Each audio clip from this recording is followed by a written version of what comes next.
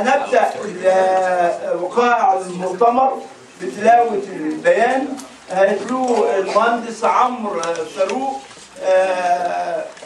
الأمين العام المساعد لحزب الوسط يسعى التحالف الوطني لدعم الشرعية بكل قوة لإنقاذ الوطن من الانقلاب العسكري الدموي الذي سيطر على مقدرات مصر وأهدر الإرادة الشعبية المتمثلة في خمسة استحقاقات انتخابية بدءا من التاسع العشر من مارس 2011 وحتى إقرار دستور الأمة الذي استفتي عليه الشعب المصري يومي الخامس عشر والثاني عشر من ديسمبر 2012 وحاز على ثقة أغلبية المصريين بنسبة زادت عن 64% من إجمالي المصوتين عليه. ومنذ الانقلاب فإن حملات هدم الثورة أو ثورة يناير ورموزها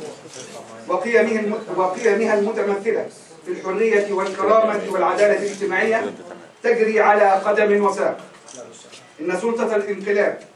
تحرق الوطن وتمزق النسيج المجتمعي المصري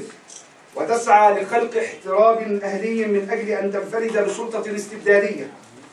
استبدادية جديدة تقمع الحريات وتفتح المعتقلات لشرفاء الوطن وتغلق عشرات القنوات الإعلامية وتجعل من الإعلام الرسمي والخاص وسيلة وأداة للقمع وزرع الكراهية. ويناظر التحالف منذ لحظات الانقلاب الأولى وبكل سلمية لعودة المسار الديمقراطي الذي اختاره المصريون بإرادتهم الحرة ويعمل مع كل شرفاء الوطن ومع كل القوى الثورية التي شاركت في ثورة يناير من أجل وقف هذه المؤامرة التي استغل فيها الانقلابيون إمكانيات الدولة ومواردها لإعادة نظام مبارك بكل سوءاته.